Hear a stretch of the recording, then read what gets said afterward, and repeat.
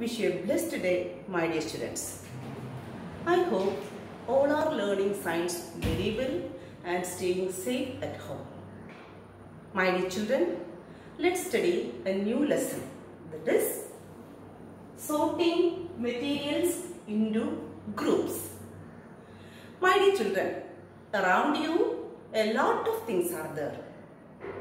You are eating a variety of food.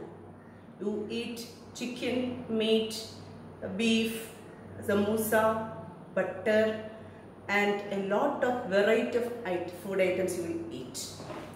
And around you many other different kinds of materials. You will be able to see buildings, trees, uh, road and uh, in your home you will be able to see utensils and uh, you will be utensils means the cooking items in the kitchen and TV, washing machine, fan and a lot of materials are around us. And see, I have given you a list of things on the board which are notebook, chalk, blackboard, pencil, pen, nail, duster,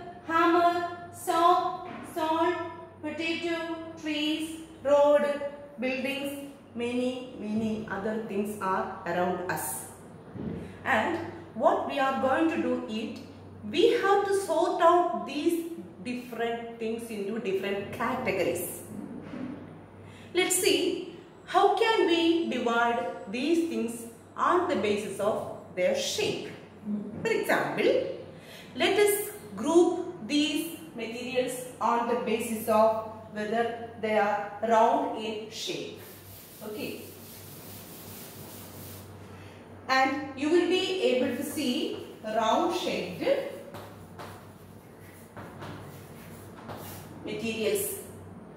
You all might have seen football. What is the shape of a football?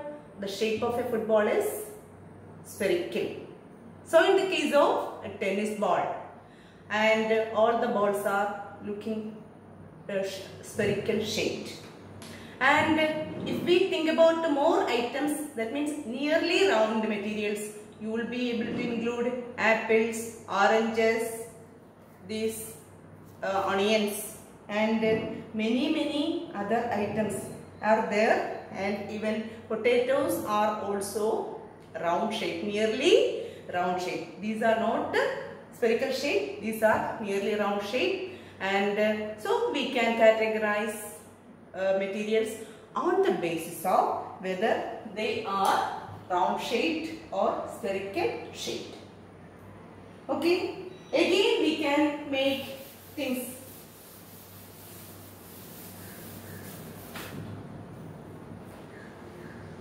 We can divide the materials.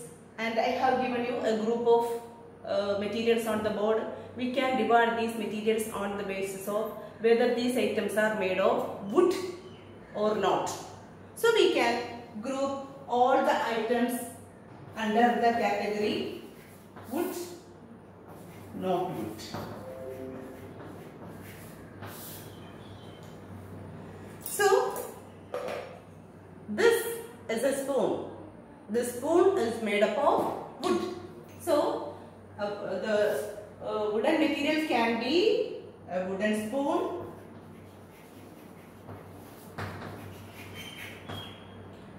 tables, chairs. And all other items given in the board as well as many other items. These boxes bottles and this box all these are so boxes bottles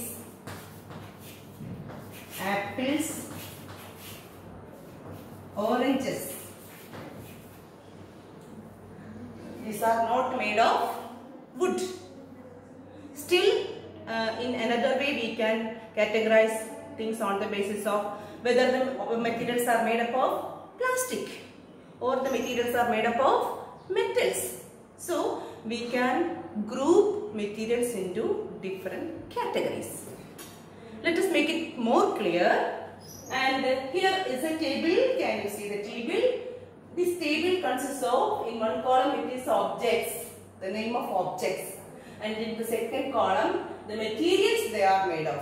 So here is an object plate with which these plates can be made. The plates can be made of plastic, glass or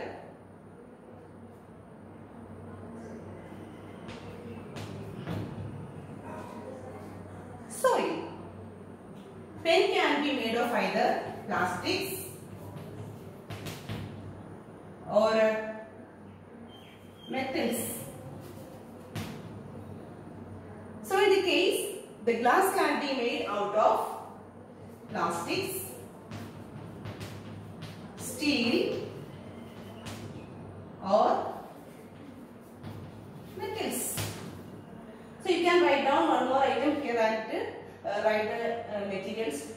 made up of. Okay.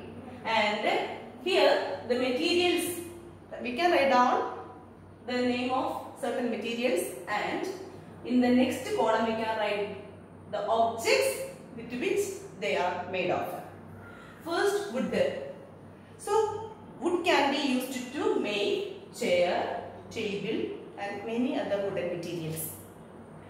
Paper can be used to make notebooks, textbooks, toys, etc.